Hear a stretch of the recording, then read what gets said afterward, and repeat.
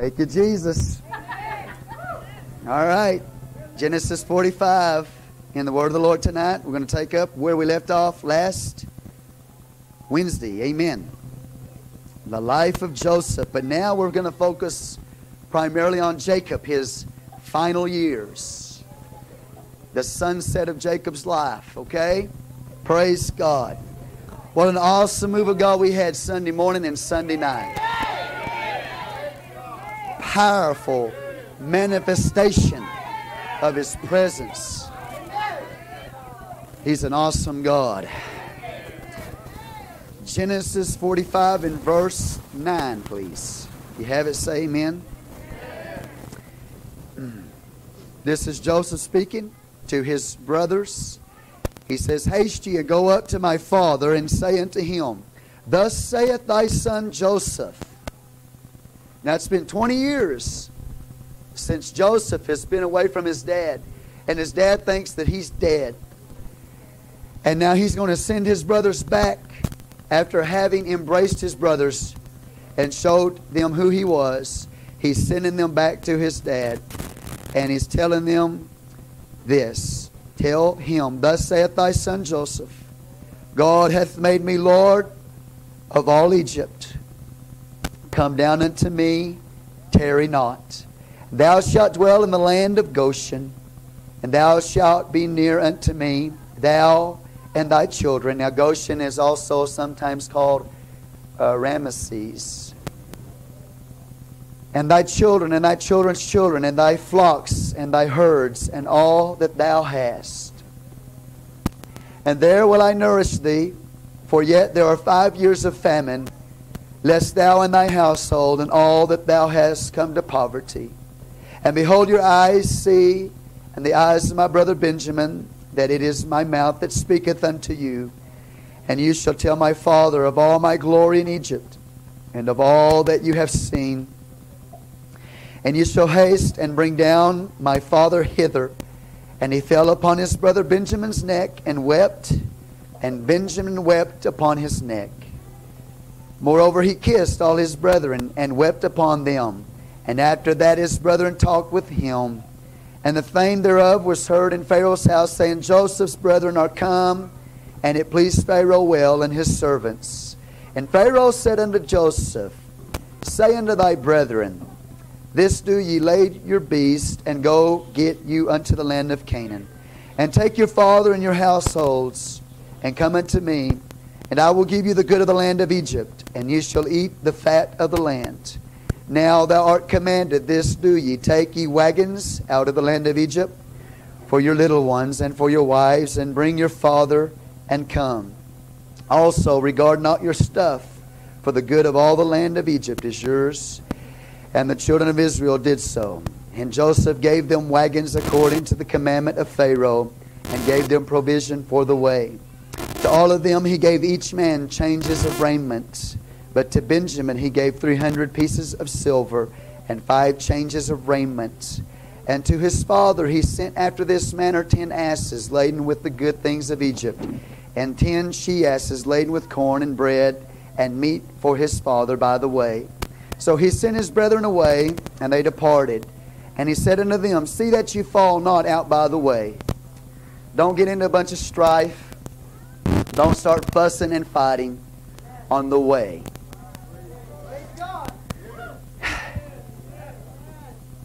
The Bible says in verse 25, And they went up out of Egypt and came into the land of Canaan unto Jacob their father, and told him, saying, Joseph is yet alive, and he is governor over all the land of Egypt.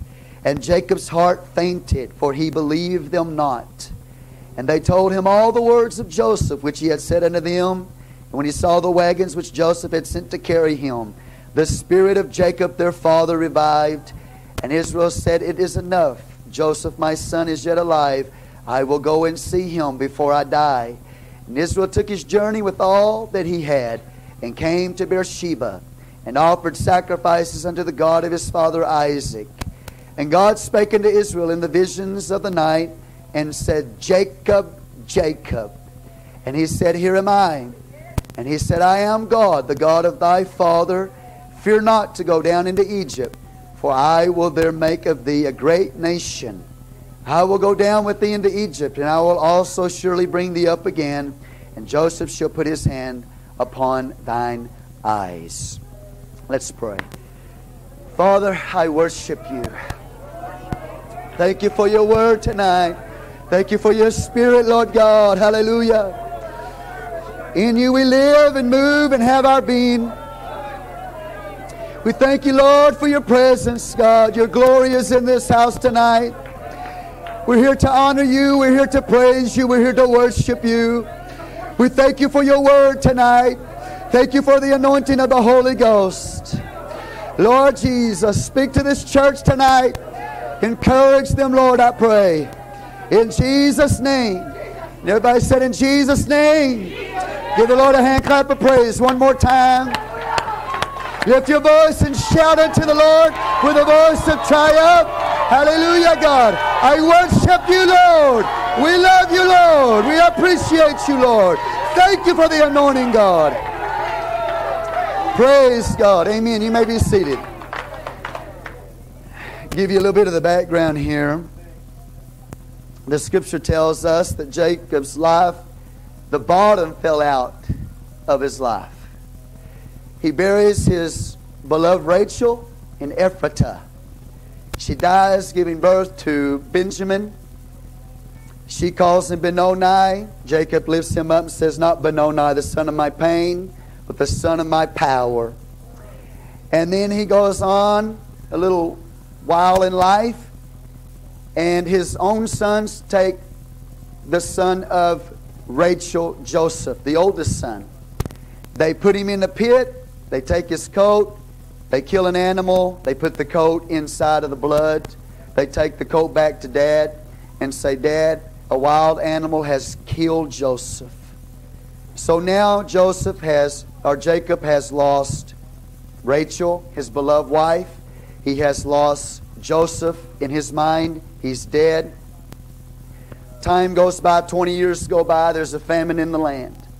So Jacob looks up at his sons. He sends his sons to the land of Egypt because he heard there was bread in the land of Egypt.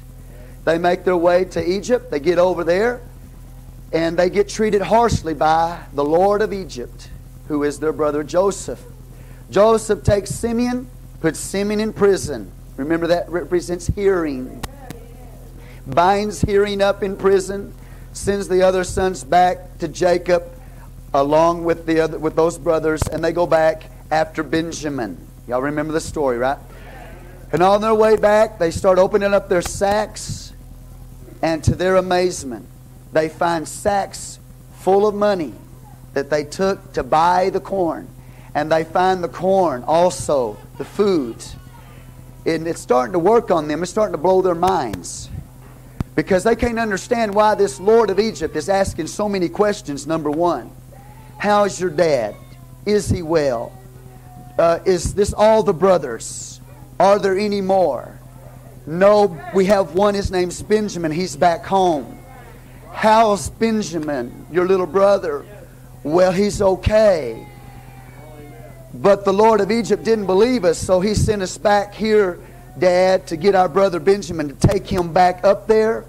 And until we show back up with Benjamin, Simeon is in prison over there. Jacob says, No, I can't let you take Benjamin.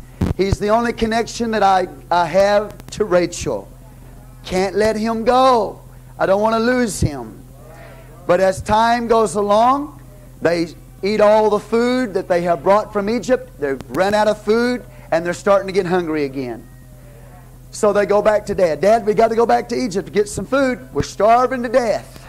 Dad says, No, I can't let you take Benjamin. Time goes on, and it's amazing what hunger will do to you. So he looks at him and he says, I tell you what you do. He says, Get Benjamin and go on back and if I, if I am bereaved, then I'm bereaved. Go over there and let me show it to you. He said this right here, in this is in verse 14 of chapter 43. He said, And God Almighty give you mercy before the man that he may send away your other brother and Benjamin. If I be bereaved of my children, I am bereaved. He said, If I die alone, I die alone. But you've got to go get food because we're going to starve to death anyway. So I've just determined to put this all in God's hands. I've determined to cling to God. And he says, at the first part of that verse, he said, And God Almighty give you mercy before the man. El Shaddai. He said, Let El Shaddai give you mercy before the man. El Shaddai is translated here, God Almighty. That's not a very good translation. A literal translation is the breasted God. Did you hear that? The breasted God. It gives you a picture of God as a mother feeding to a feeding a child that is clinging to its breast. Jacob, Jacob says basically this. He said, I'm like a child. I've lost my strength. I'm clinging to God like a child at the breast. I am trusting El Shaddai, the breast. Now, this is a picture of God. God is not a woman, and God does not have breast. But this is a picture of God in his nurturing to man. It's a picture of Jacob clinging to God as a mother would provide for a young child. And he's there clinging to God. He's trusting God. And he's saying, Let El Shaddai, the breasted God, have mercy. Let God work in this Lord's mind and his spirit that this man would have mercy upon you. And if I'm bereaved, I'm bereaved. If I die alone, I die alone. See, his life, the bottom of his life has fallen out. He's lost Rachel, he's lost Joseph, and for all he knows, Benjamin's going to be gone and all the rest of his sons, and he's going to die there in Canaan by himself alone. But he says, I'm going to cling to God. I'm going to cling to El Shaddai. He is the breasted God. I can trust Him to take care of my needs. I'm a broken man. My life, the bottom's fallen out of my life. Seems like my whole life's full of trouble and pain. And I'm having all kinds of difficulties. It seems like that's all my life has ever been. It's one of evil and pain and trouble. But I've got my eyes on God. I don't only have my eyes on God, but I'm clinging to El Shaddai. And so he sends his sons away with little Benjamin, 22 years old at that time. They get over there in the land of Egypt.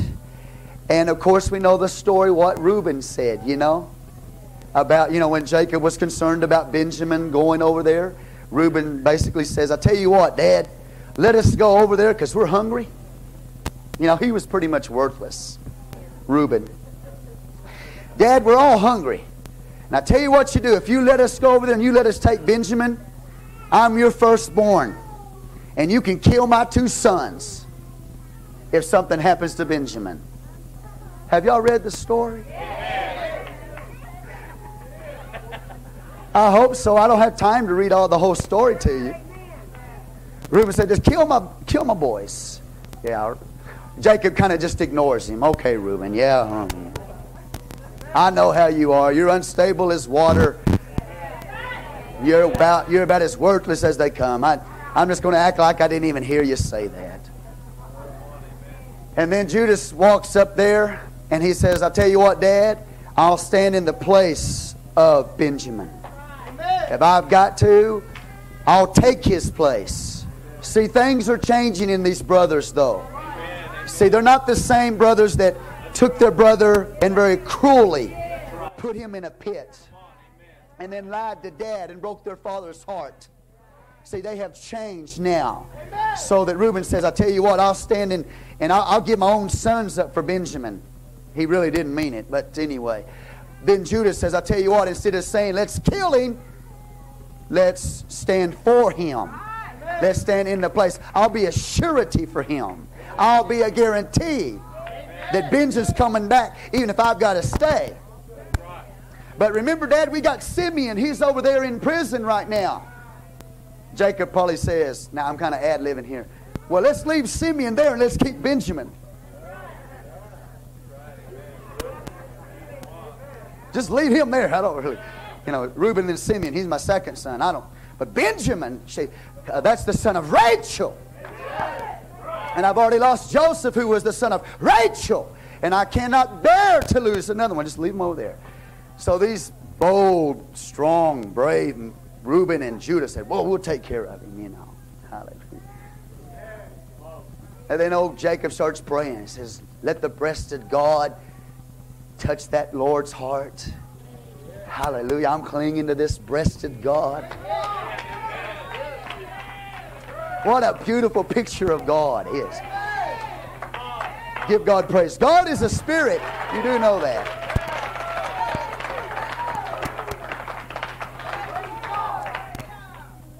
And so they get over there, and after being tested a little bit, and Judah stands up for Benjamin, and Joseph recognized that his brothers are not the same.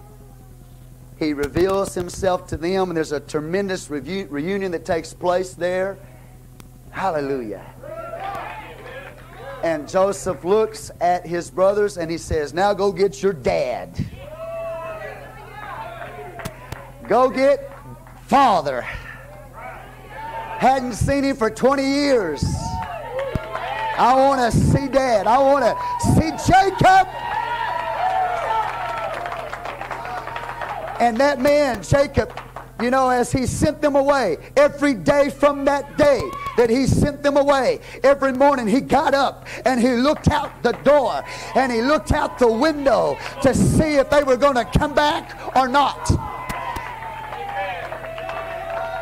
And then all of a sudden, one morning he gets up. Man, I'm feeling the Holy Ghost. He gets up and he looks out the window and he runs up to the door. And he just he doesn't just see some brothers coming along with a few mules that he sent them out with. He looks up and all of a sudden he sees a wagon train.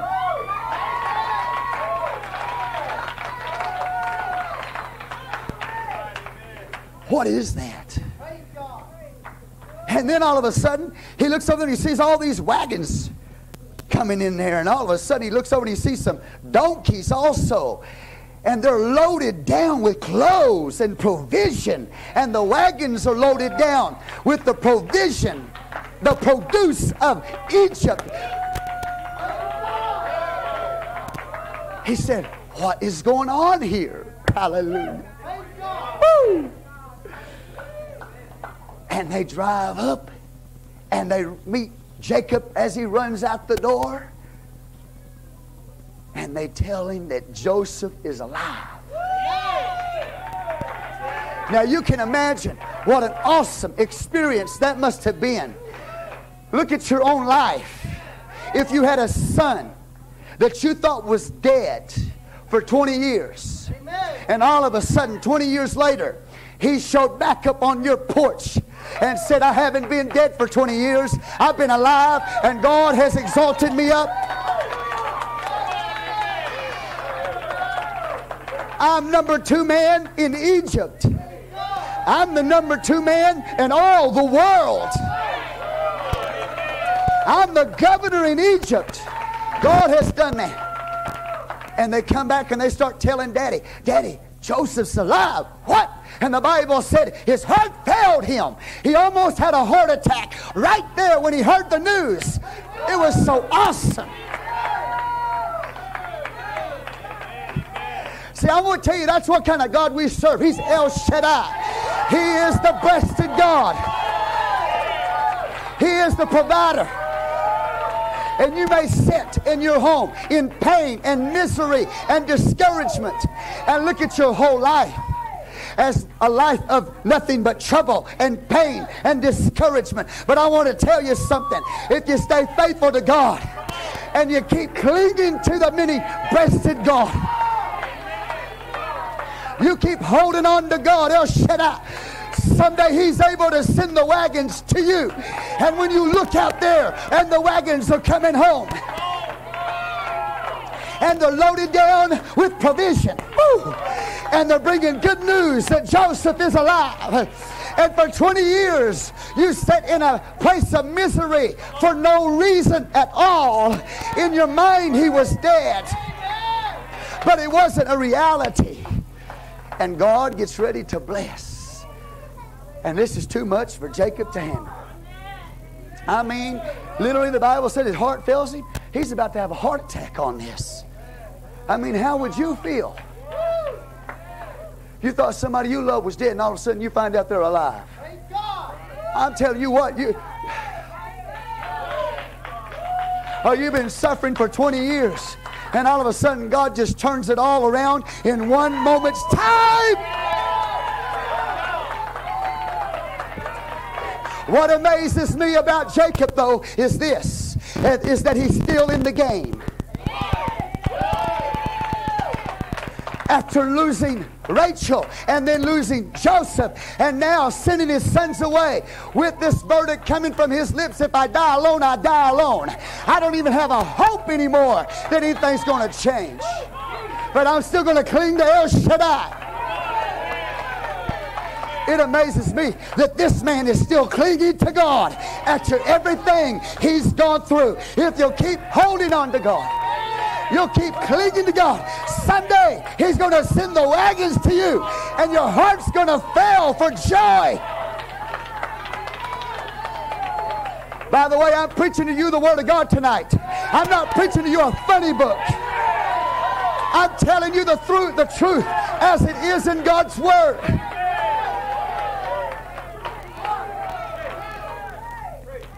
That old man, he's 130 years old and he's dragging his leg. And he just can't believe this, and his heart's giving him problems now. Y'all are, y'all are lying to me. Uh, how can you be lying to me? Look, I see the wagons. Uh, there's something that's right about what you're telling me. I believe what you're telling me. I can see by the wagons. And I'm looking at all these beautiful clothes you brought us here and all this provision. But Joseph looks at Jacob and said, Jacob, through the brethren, you, Jacob wants you to go to Egypt. Right now. He wants you to pack up and he wants you to leave Canaan. I hate to bore you with a Bible story. It don't bore me. I love it. It's awesome. But the brothers say, now, now, Daddy, this is all yours. This is all ours. And Joseph gave it to us. But he wants you to do one thing. He wants you to pack up and he wants you to go to Egypt.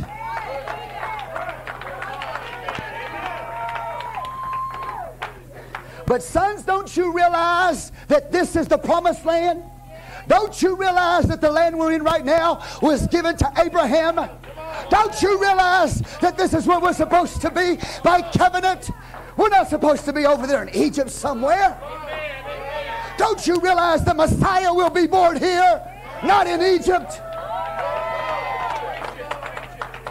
What are you asking me to do? Y'all gonna have to carry me a little bit. I don't have much voice right now. Hallelujah. I got some of that funny stuff that's going around here. Y'all gonna have to help me tonight. Don't make me scream.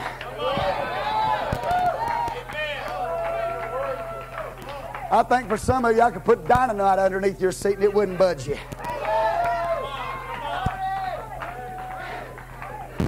How can I leave the land of promise? How can I leave the land of Canaan and go to Egypt? I'm excited about it. I want to go see Joseph. I'm so excited. I got to go see Joseph. And I'm excited about all these wagons and everything. But don't you realize this is where we're supposed to be?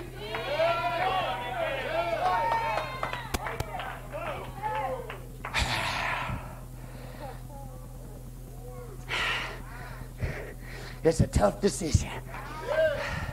Walking back.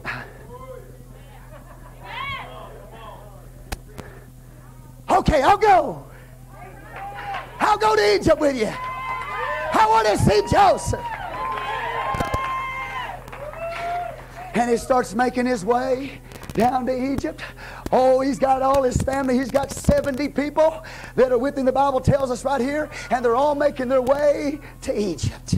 About 70 of them, according to Genesis here. 70 of them plus. Okay? And they've got the babies in the wagons, and they've got the, come on, somebody. And they got the women in the wagons, and all this stuff, you know, and they're making their way back or to Egypt. All 70 of them. You know why? Because Egypt is where God's incubation is. That's where God's going to give birth to a nation.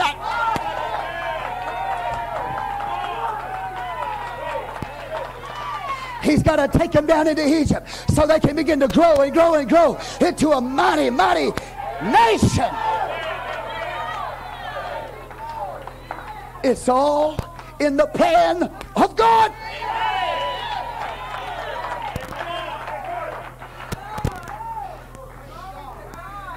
I got to send them through an incubation process before they can grow and become what they're going to become.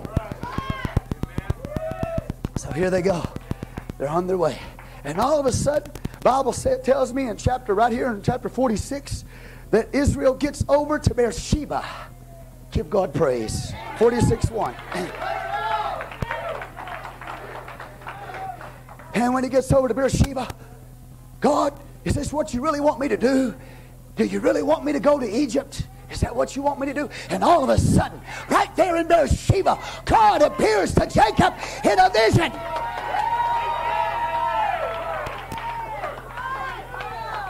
See, he, come on, I want to tell you something. Everything that Jacob has ever gone through was bringing him to a culmination. It was bringing him to a completion. It was bringing him to purpose. And that is the purpose of God. All of his pain, all of his bitterness was sending him to a place of purpose. How do I know that? Because this is the seventh and the final appearing of God to Jacob. God completes his purpose. And he says, Jacob, this isn't a divine appointment. Right now, this isn't an accident. I finished the works before the foundation of the world. I intended on meeting you right here in Beersheba. Before you were ever born, I intended you to be here.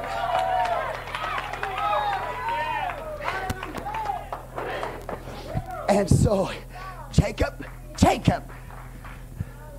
Let me say it again. Jacob, Jacob. Two times. The double enunciation of deity. Jacob, Jacob.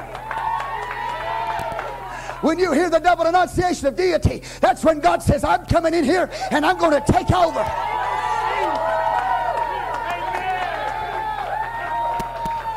That's where God, who can swear by no greater than himself, so he swore by himself.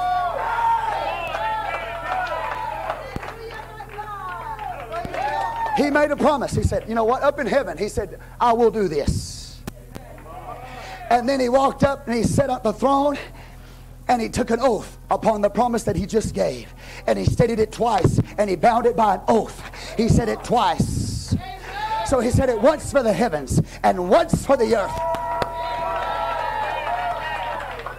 That's when God does it all by himself. That's when it's a sovereign move of God. When God says, Jacob, Jacob, God said, I'll come in here and I'm going to take over. Because God is a moving God.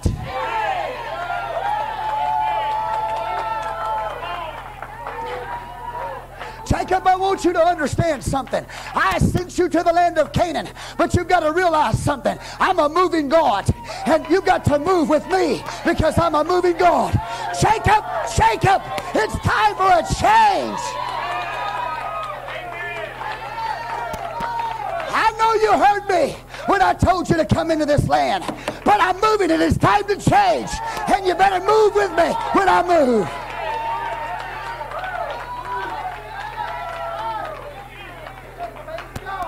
Hallelujah. Give God praise. He did the same thing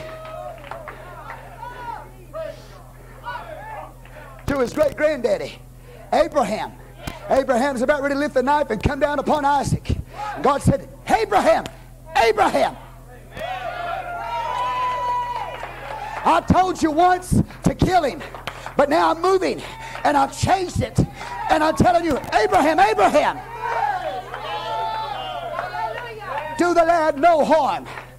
See, a lot of people hear the first voice of God, but they don't hear the second word. You've always got to be in tune with God. Because when He speaks to you today about something, He might tell you something different a month from now. You've always got to be in tune with God.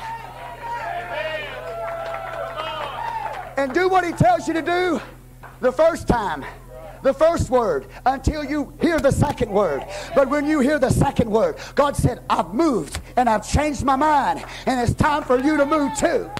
Jacob, Jacob! You're in my will, Jacob. Go on down to Egypt right now and watch what God tells him.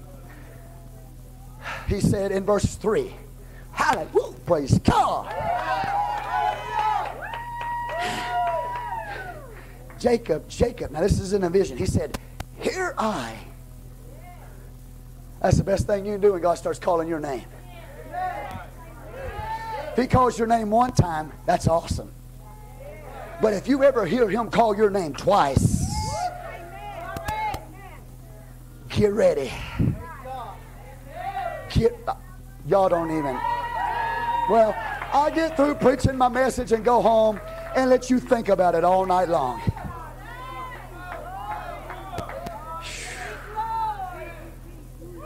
Watch what he says. He said, I'm taking over. He said, Jacob said, Here I. And he said, I, God.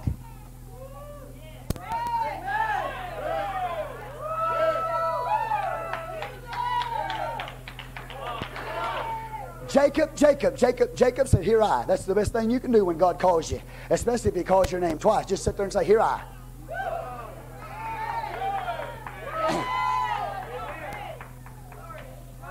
means God's fixing to do something awesome in the earth. Something He's already declared in the heavens. He's going to come down in the earth and take over. He's fixing to do something awesome.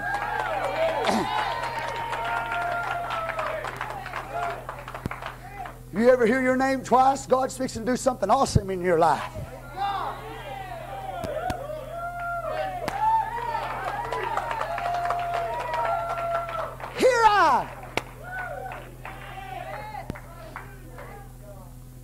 And then God said, I God. Sovereignty. Sovereignty. God doing it by himself. All I am is, here I am, God. You just come in here and you take over.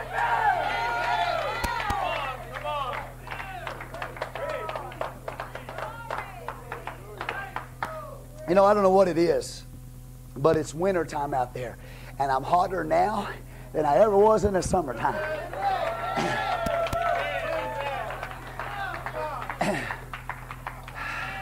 I don't understand it. It's cooler in here tonight than it ever is, and I'm burning up. I take my coat off in the wintertime and leave it on in the summertime. Doesn't make sense to me. See, I want to tell you something. God's still talking today. But there's a lot of people that are not listening today. There's people that come and sit in these pews, don't expect God to do anything or say anything. They've gone through so much pain, so much suffering. They've started losing their grip off of that, off of God but keep clinging to God. And someday the wagons are going to come. And someday God's going to intervene. And He's going to take over the situation in your life.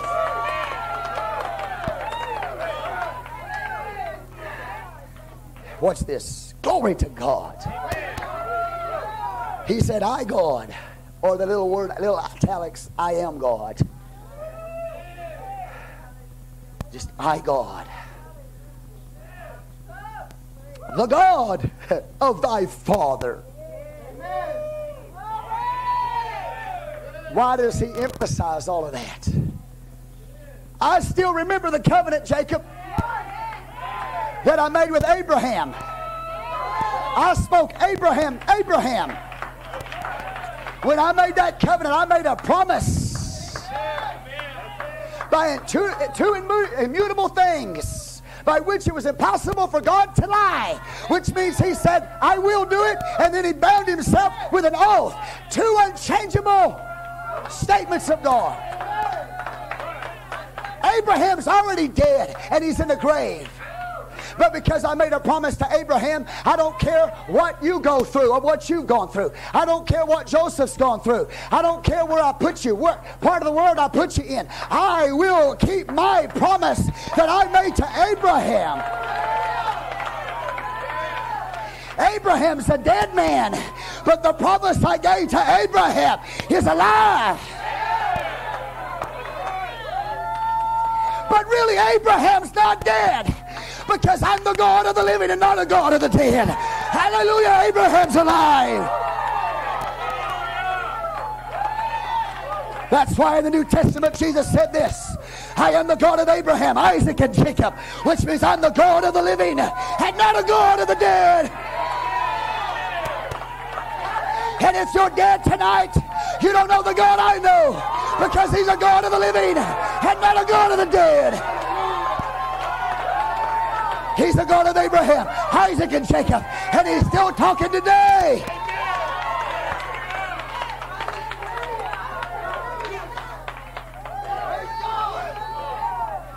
He said, I, God, the God of thy father. Fear not to go down into Egypt. I'll keep you wherever you go. I'm not just a ge- geographical God. When you leave Canaan, you're not leaving me back in Canaan because I'm not just a geographical God in Canaan.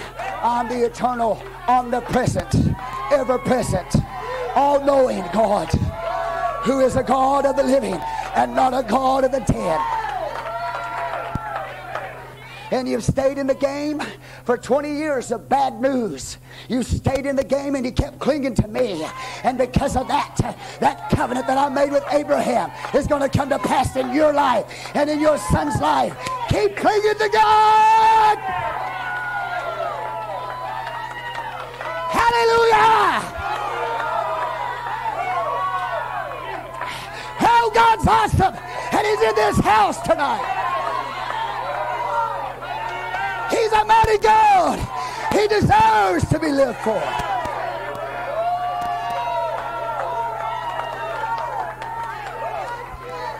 Oh, I can't go by what I feel like. I can't go by what the circumstances say. I got to get a hold of God tonight. He's El Shaddai. He's Almighty.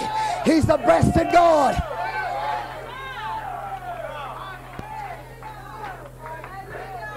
See, most people put faith in the wrong thing. They put faith in their sickness.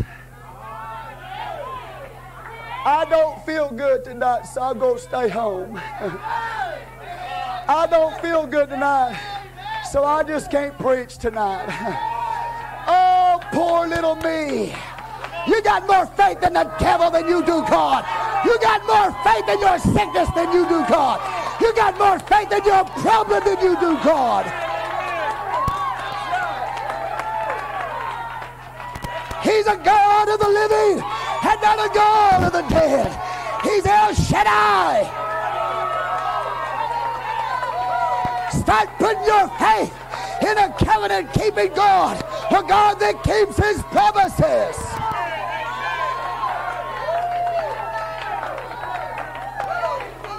Glory.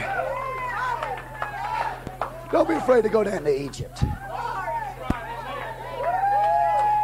But don't you know there's about 60,000 deities in Egypt?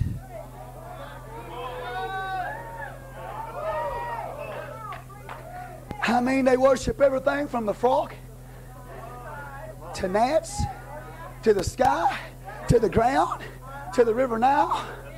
to the cows. They worship fire. The Lord don't change it. We're just going to keep on moving from Genesis right on into Exodus. And if He don't change that, we're just going to keep on moving right into Leviticus and then Numbers, then Deuteronomy.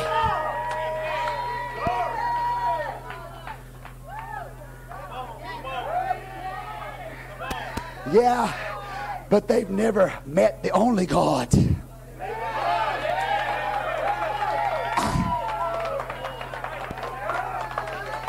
They just got a glimpse of him in Joseph. They just heard his name from the mouth of Joseph. Come on. But I'm fixing to send the whole church into Egypt. And when I get ready to send the church into Egypt, they're going to come face to face with El Shaddai. God Almighty.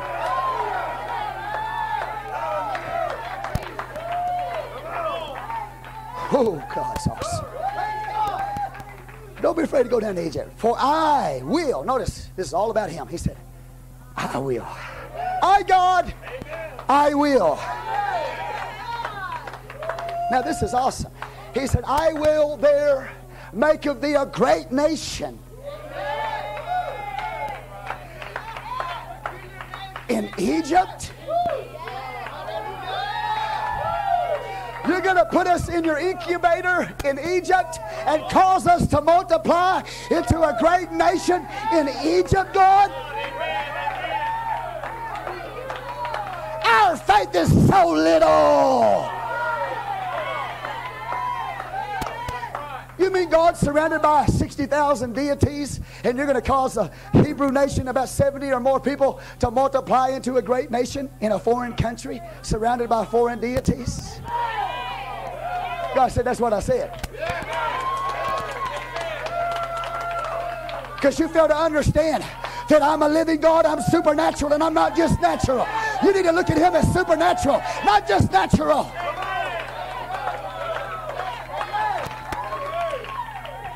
Jacob, just exercise your faith just a little bit.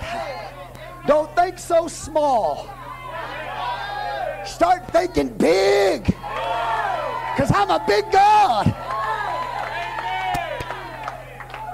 We need to get rid of the little bitty thinkers and get some big thinking in this house. Hallelujah. Verse 4, he said, I will go down with thee. See, you're not going to go by yourself. Every step you take, and all these wagons that are rolling, I'm going to be right there with you. My glory's going to be there. Every step you take, I'm going to take. When you walk into Egypt, I'm walking into Egypt with you. That's how it's going to happen. Oh, God's good. Give God praise in this house. We are still serving the God that gave this message in the Old Testament. Jesus is the God of the Old Testament.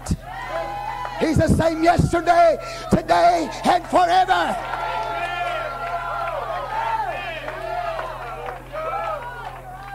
And then he said, I'm going to go down with you in Egypt after I get you out of the incubator. Then I'm going to bring you out. Well, God, why would you send me in there to bring me out? Because I have to get you to understand that I'm a moving God. And I've got a purpose because I just don't want to save a few Hebrews. I want to save Egypt.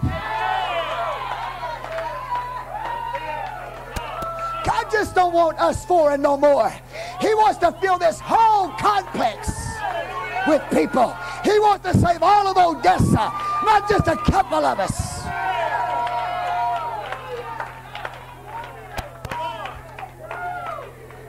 God gave us a commission Sunday night for everybody here to go out and preach the gospel.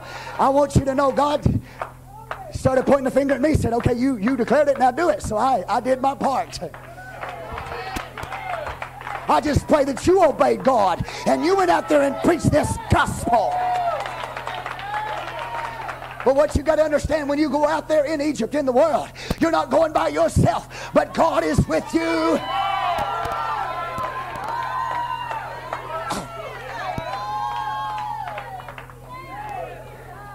God's doing some big things.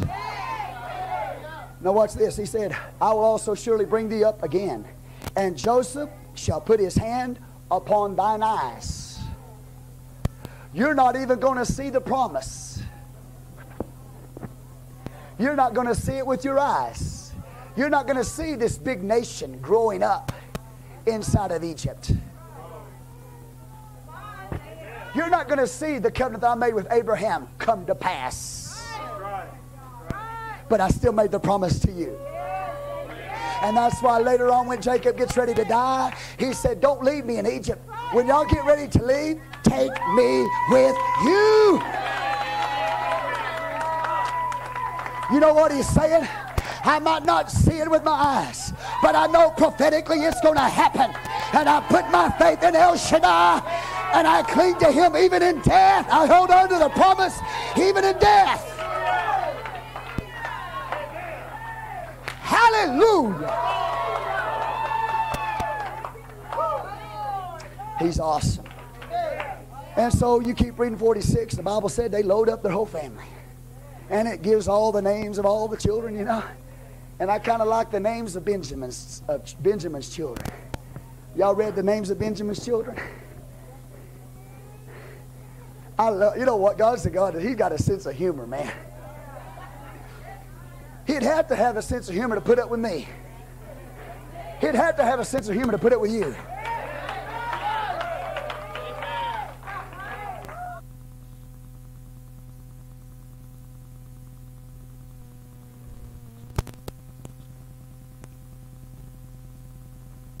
And Becher and Ashbel and Gilra and Naaman and Ehi and Rosh and here, here we go, Muppim and Huppim. Muppim and Huppim. Hallelujah. He was probably, the, they were probably the brothers of Ithiel and Ucal. We talked about Ithiel and Ucal. Ucal uh, Sunday night. Hey, I got some brothers. Hoopum or Hoopum and Muppum.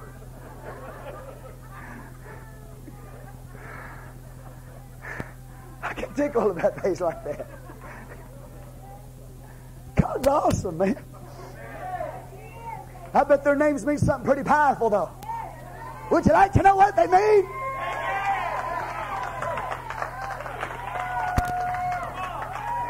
Go look them up. I don't know what they mean. I can't tell you everything. I don't know what they mean, Daniel. Praise God. But this is exciting. Because you got good news in Jacob's house, and he's pretty happy, and now God's talking to him and telling him what he's going to do. And he's got all of his kids with him. He's but he's still got his old limp. He's still dragging his leg. And there's a reason for that. You'll see it in a little bit. So, anyway, it tells us, verse 27, that about 70 of them go up. Now, he's 130 years old right now, Jacob is. And verse 29, here we go. Here is the reunion. 20 years Jacob hasn't seen his beloved firstborn son of Rachel, his beloved wife. 20 years he hadn't seen him. Wonder what he looks like. Wow. When I saw him last, he was only 17 years old. Now he's about 37 at least, probably 39. You know what? I'm having so much fun. Y'all look like look like you look like somebody died in your family. I love to preach. Hallelujah. If, if I was preaching to it, the charisma talk, ah,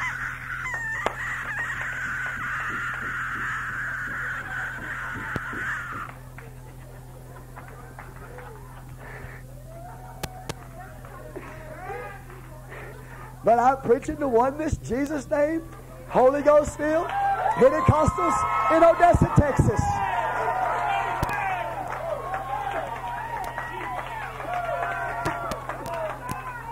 I'm telling you, man. But here he comes. And he's right in a chariot. And he's wearing royal apparel.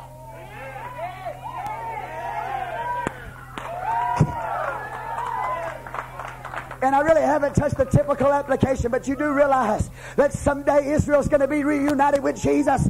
And when he comes back, he's coming as the King of Kings and the Lord of Lords.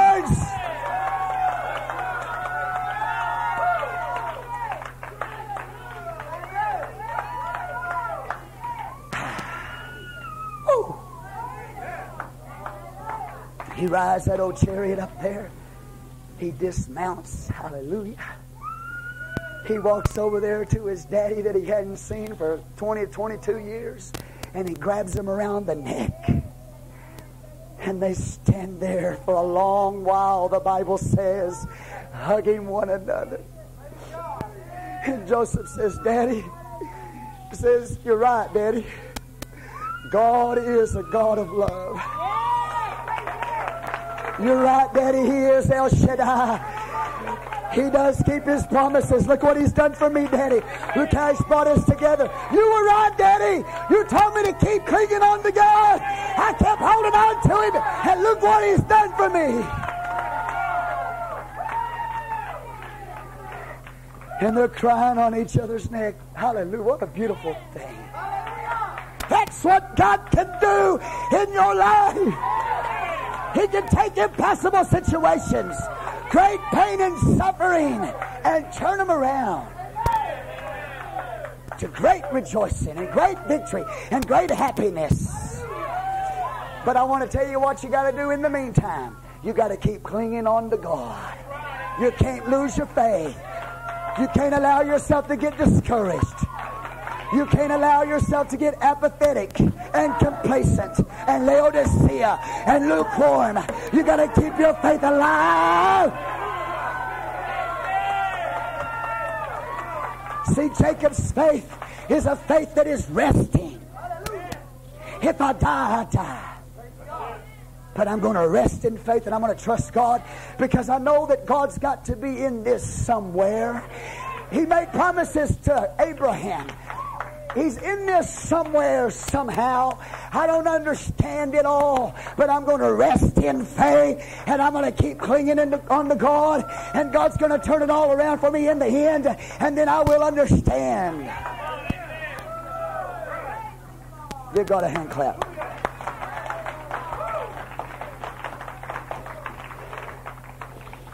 Watch this, verse 30. And Israel said unto Joseph, Now let me die since I have seen thy face, because thou art yet alive. And God gives the old the old guy 17 more years.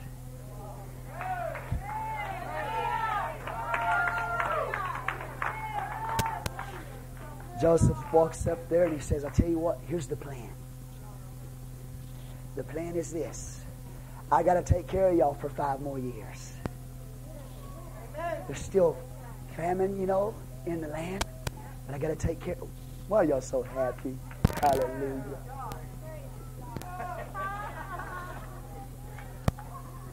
Goodness. I could understand it if I could if I was preaching damnation, hell. But I'm preaching you the gospel. You sit there and look at me with this old sour look on you. I can't figure you out. You're happy when I preach hell, and you're mad when I preach the gospel. I don't understand. Glory to God. Back in my days in church, I'd have paid you a million dollars to hear a message like this.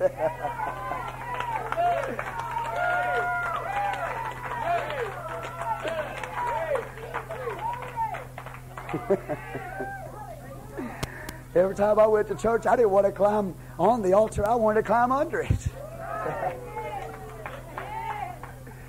but I needed it. I needed it, man. I was a real problem. I needed it. Some of you do too. That's why I preach like I do to you.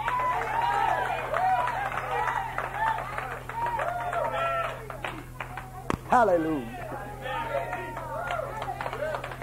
Here's the plan. We're going to go up there and, and Jacob, I'm going to greet, I'm going to show you to, to Pharaoh. I'm going to introduce you to Pharaoh. And I tell you what, here's what we got to tell him when we get there. We got to tell Pharaoh that we're all shepherds. That's the plan. Because I'll tell you why we got to tell Pharaoh that we're shepherds. Because Egyptians hate pastors.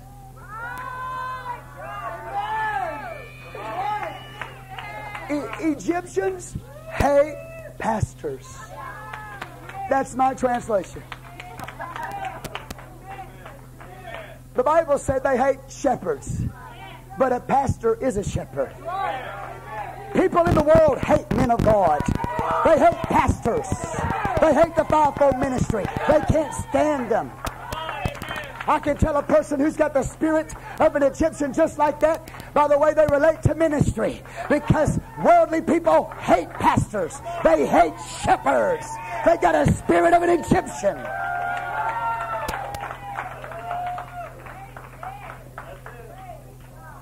How many Egyptians I got in here tonight? All the Egyptians said, Amen. Not enough power?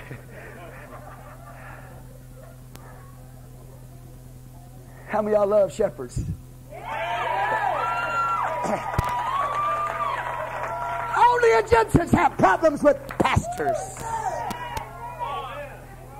So we go to tell them we're shepherds so that they'll put us over in Goshen somewhere. Give God some praise. And we'll be set apart from Egypt. And we won't intermarry with the Egyptians. And we won't worship their gods. But we'll have an influence on their society.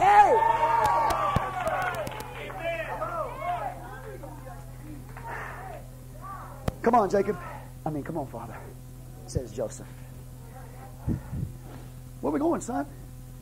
We're going to go see Pharaoh. Well, son, I'm a 130 year old man, and I'm just an old stinky shepherd. And you want to take me in the presence of royalty? You want me to take, you want me to go where? in a palace with all this ancient civilization's pomp and glory, with the Lord of the earth sitting on the throne. Pharaoh, who claims to be Ra, the sun god, the one who claims to be the light of the world. You want me to do what, son? You want to take me in the presence of that man? I'm a stinking shepherd. Yeah, come on, Dad, because they're excited. Pharaoh's excited about you, Dad. Pharaoh's excited about all my brothers. He's the one that sent all. He's the one that told me to get all these wagons. He's the one that told me to get all the mules and load them up with all these beautiful clothes for you. He's the one that sent the provision. He's the one that told me to do all this.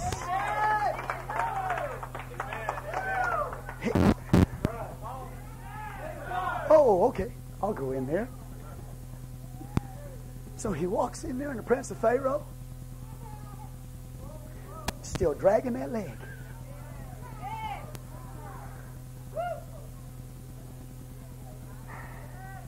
Y'all remember why, don't you? Why is he still dragging that old leg around? Because one day he had an encounter with this God, and he said, God, I'm not going to let you go till you bless me and he wrestled with the angel. And the angel blessed him and changed his name from Jacob to Israel, which means, as a prince, thou hast power with God. You're blessed, Jacob.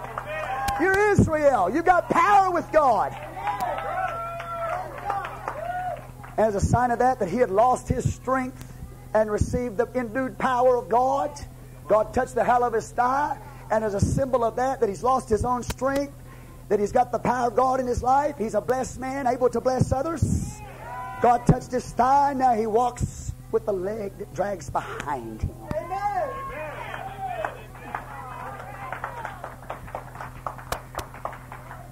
I'm almost through. And he walks in the presence of Pharaoh. Can you just imagine that? Y'all are tired, aren't you? all that gold and all those false deities round his throne.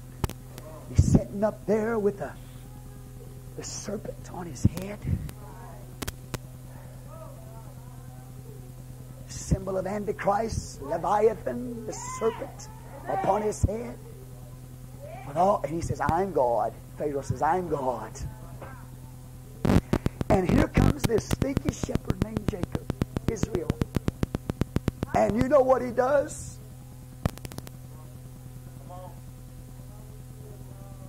He walks over there to that Pharaoh and he puts his hand on his head and he blesses him.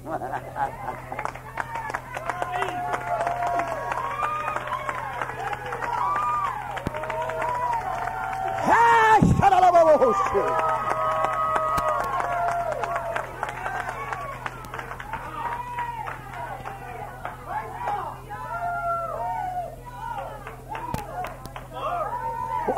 read it to you. Don't believe me?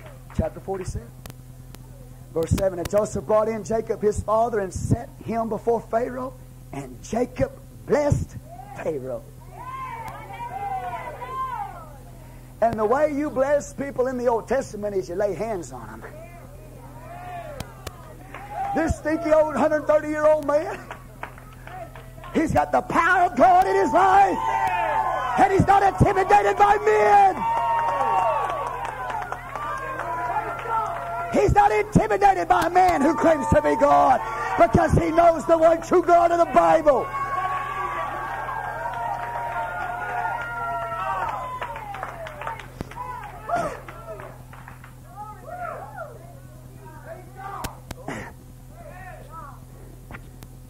He blessed Pharaoh. Jacob, what are you, blind? Don't you see this palace this man has? Don't you understand that he, he's going to own everything? And you're you're blessing him? Mm, you lost your mind, Jacob. What is a blessing? We talked about it last week. It's not something that just makes you happy. A blessing, the word blessed in the Hebrew means to be endued with power. And Jacob walks to that, to that old false God, lays his hands on him, and he says, Be endued with the power of God.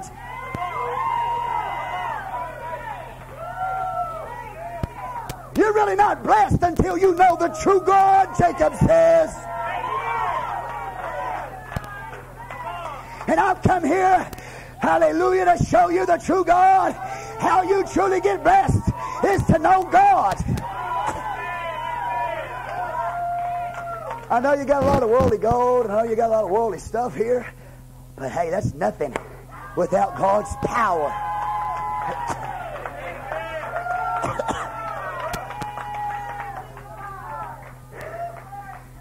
He's saying, let God bless you spiritually. You bow down to all these deities and drive yourself crazy by doing it, and there's no life in it.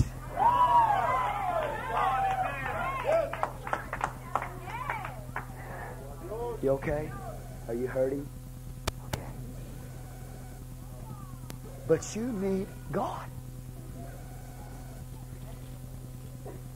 All these deities are not going to bless you spiritually. So be blessed spiritually. I pray that you're successful and you're prosperous spiritually. Which means that you walk with God successfully. Pharaoh, you need to walk with God successfully. You need to be touched in your spirit.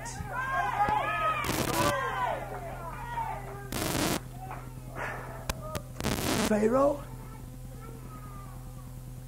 you need to be endued with power, power to succeed and prosper mentally. You need to learn how to walk in the wisdom of God.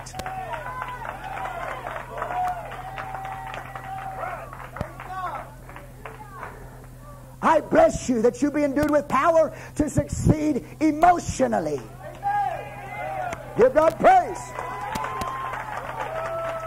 That you would know the love of God in your emotions. I bless you that your body would be healed from all sickness.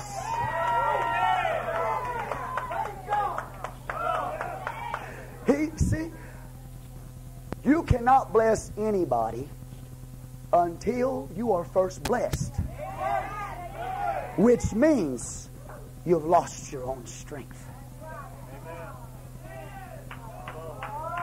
You have to lose your own strength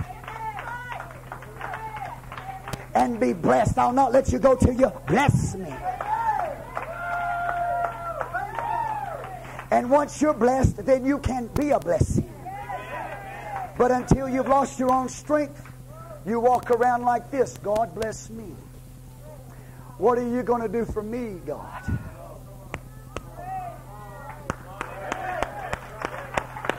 But this man, Jacob, has gone beyond the time where he's saying, Bless me. He walks up to Pharaoh and he says, Bless Pharaoh.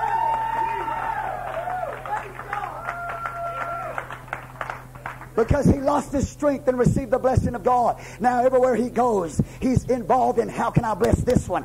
How can I help this one? How can I bless that one? How can I bless that one? He's a mature man of God now. It's taken God a hundred years to get Jacob to a point that he's got so much God he can walk in the presence of Pharaoh and have enough of the power of God in his life that he'll lay hands on a self-professed deity and says, God bless you.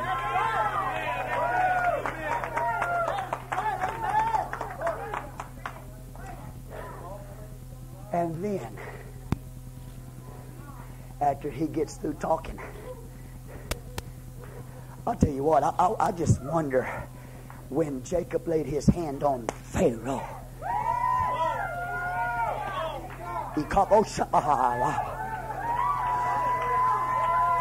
I just wonder if old Jacob started speaking in tongues.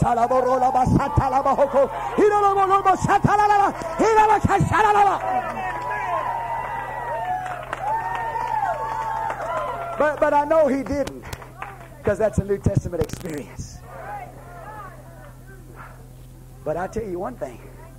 I bet when he laid hands on Pharaoh, that fire went through him.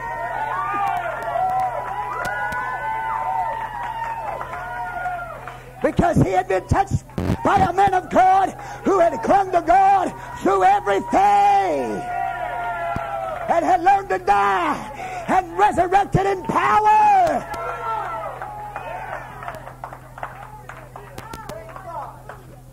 Willing to trust God with everything. If I die alone, I die alone. But I'm going to keep holding on to El Shaddai.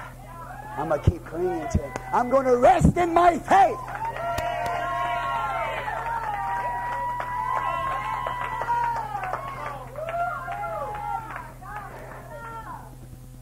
So after all that, I could just see old Pharaoh sitting on the throne shaking. What was that? When Jacob first walked in, he said, Who's that? But after Jacob laid hands on him, Israel laid hands on him. And when Israel laid hands on him, he said, What was that? Ah! To God! Hallelujah! And you need to understand today is that you got that same God inside of you. And at some point, you've gone through so much, but you've got to learn to just be like a baby say, Oh God. I'm going to trust you. Because I know the weaker I get in my own self, the weaker my flesh gets, the more broken I become, something starts working in my life that is supernatural and very, very powerful. It's the ability to lay hands on people that they're blessed spiritually, mentally, emotionally, physically. That's powerful. But anybody that's touched by God walks with a limp. I'm going to tell you something I haven't felt. Listen, we felt the move of God Sunday night, but there's a deeper move of God tonight. There is a deeper move of the Spirit. This is deeper tonight than it was Sunday.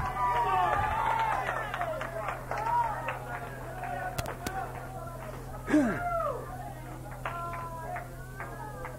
Give God praise.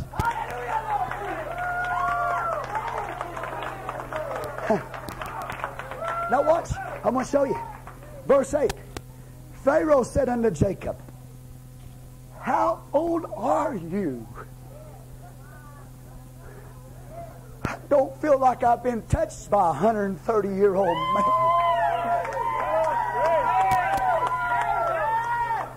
It seems to me like your hand was an extension of somebody else.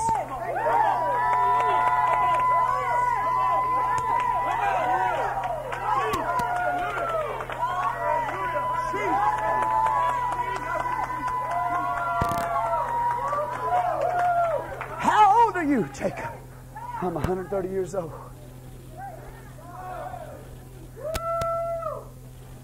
Give God some praise.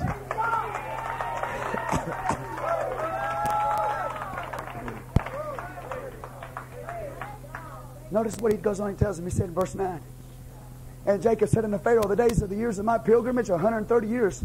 He said, They're few, and he said, They're evil. He said, My whole life's been pain. My whole life's been brokenness. My whole life's been disappointment. But I wouldn't give up any of it to be where I am right now. I wouldn't give up any of that that I might lay hands on the sick and that they might recover.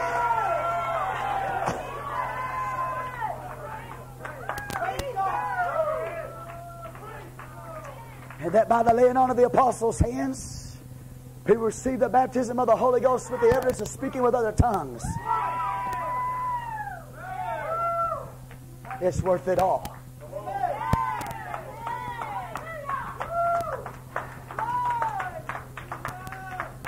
Give God praise. I love this man because he's so truthful and he's so real, but he's clinging to God in reality. He don't get up and say, hey, Pharaoh, well, I've been blessed all my life. Hallelujah. Everything's been good. No problems, no difficulties, no struggles. He said, my whole life's been one of struggle. My whole life's been one of disappointment and pain and suffering. Bless me, Pharaoh. But I know God. See, you need to understand something when you go to your job and you see maybe your boss with all that pomp and that all of that. You walk in there at that bank, and that bank president's right there. If you are where Jacob was, you can walk up to him and impart blessing.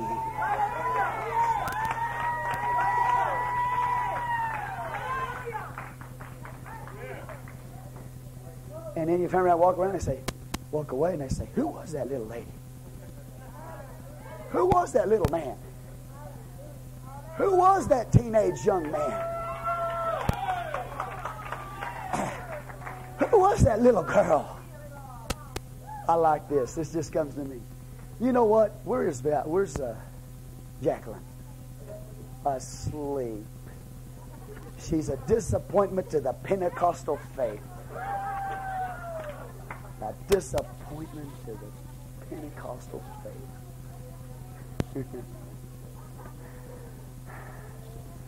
Not really. She's something else. I'll tell you what, if I ever get in a debate, I'm going to go get little Jacqueline and my little girl Victoria, and I'm going to take them with me, and I'm going to let them cut them up.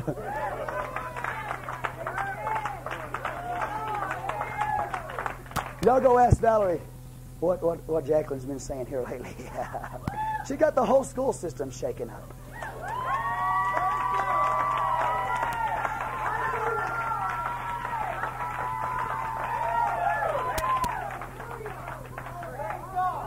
I'll go get her. Hallelujah. I step back. Go at him, um, Sister Jacqueline. Jackie. How old is she? What, six? Seven years old, man. See, you want to raise these kids up in the kingdom. And you want to be example to them everywhere you go. Don't be a hypocrite. Be an example to your children. Be a Jacob. Joseph said, I got to show my daddy off. He's a man of God.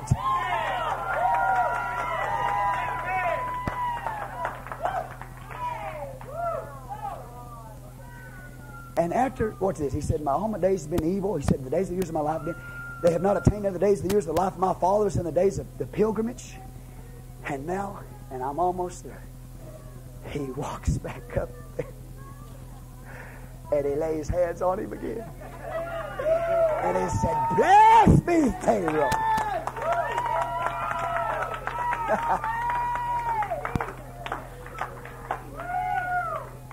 He's a man of God now. He's been through a lot. Give God some praise. He's suffered a lot. He walks with a limp now, but he's got power with God because his name is Israel, not Jacob. He's changed. And that's what everybody in here is looking for. Every young lady, every young man, every old lady. We don't have any of those.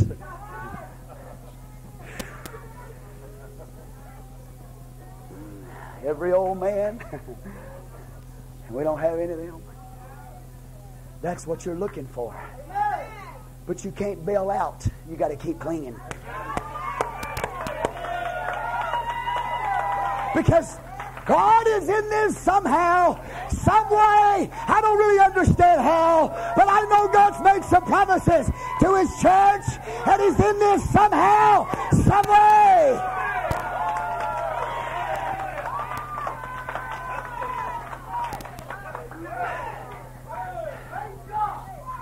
And they walk out of Pharaoh's palace. Pharaoh was never the same man again. He might have kept bowing down to his false gods, but he never fought. I forgot the encounter with the God of Abraham, Isaac, and Jacob.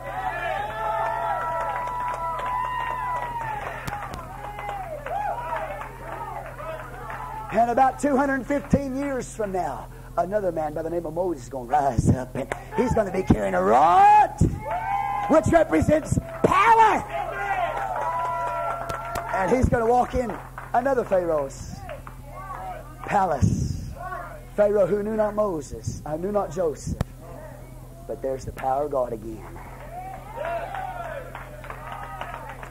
Jacob walks out, he and his sons, they go over to Goshen, and they're blessed.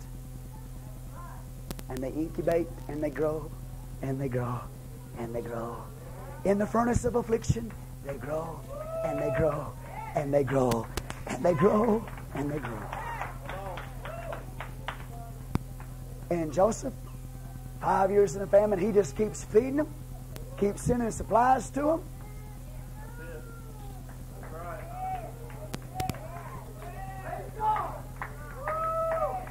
And the Egyptians, they run out of money. I'm almost through. I got to get to 48, which brings us to the dying Jacob. But we're in 47 right now. And so money, not any good anymore. They run out of money.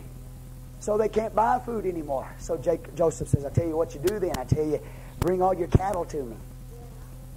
So they bring all the cattle to Joseph for Pharaoh. And then they run out of all the cattle. And they go back to Joseph. Joseph, we're going to die. What if we run out of money, we run out of cattle. What we can do? What we can do. That sounds Hispanic, don't it? What we can do. what we can do. What we What can we do? Well, give me all your land, and I'll give you bread. Give me bread, okay? Okay. Well, they gave him all the land and ran out of food. Walked back up there to Joseph. What can we do?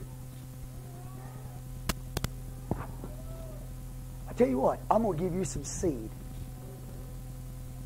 And you go out there and you plant all that land that's Pharaoh's now. You plant seed in that earth that is Pharaoh's now. And when it comes up, you bring 20% to the Lord.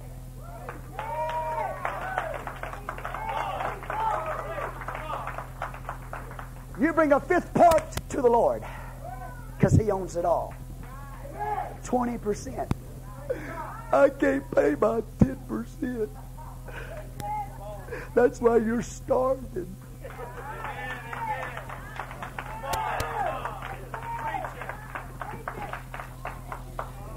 But that's you know another message.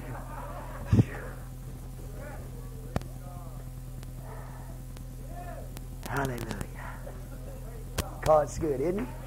Give God a hand clap of praise and be blessed in the name of the Lord. Hallelujah. Give Him some praise. He's so awesome. He's great.